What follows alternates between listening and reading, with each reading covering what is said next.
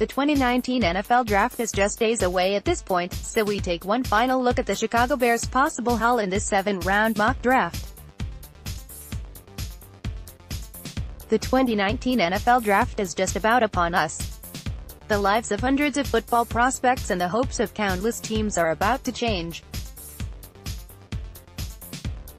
It's nice to see that the Chicago Bears aren't among the teams that have countless holes to fill.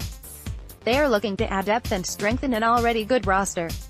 General Manager Ryan Pace did a fantastic job of revamping the team last offseason.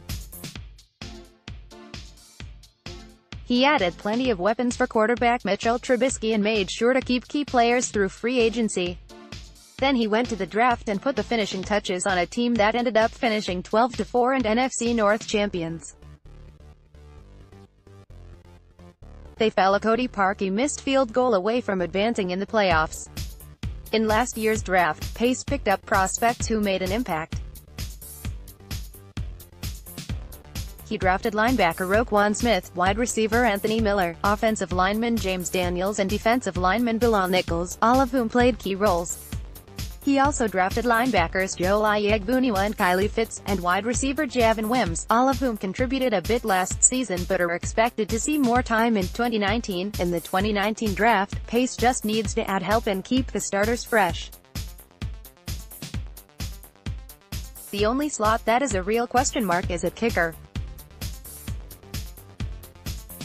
Pace has a small village vying to replace Parkey and many expect him to add another from the draft. Even the running back spot, now minus Jordan Howard, is pretty solid. Another running back helps the rotation. The one thing I expect to see with Pace is a trade. He's made countless draft day trades in his previous four drafts and I expect more this year. He could use some of his draft picks, he has about 10, to move up.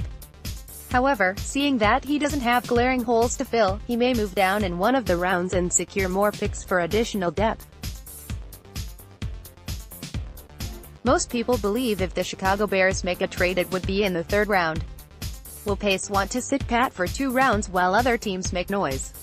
Also, he has a history of trading the third round pick. He's only had two picks in that round and they haven't exactly been gangbusters, Hroniss Grasu and Jonathan Bullard. This could be another time he trades the third round pick. Even in a draft in which the Chicago Bears have only five picks, and none until the third round, this could still be a fun and adventurous draft. All of Pace's drafts have been, and I don't expect this one to be much different. Let's block ads. Why?